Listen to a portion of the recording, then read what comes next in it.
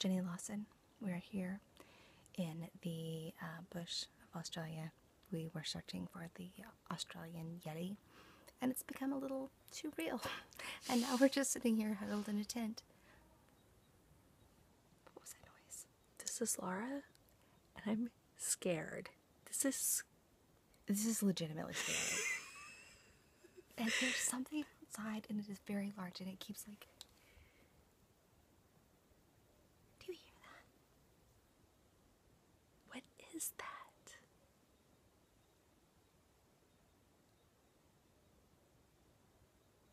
It only does it when we're talking. I can hear it. There's something moving outside of the tent. This is fucking scary.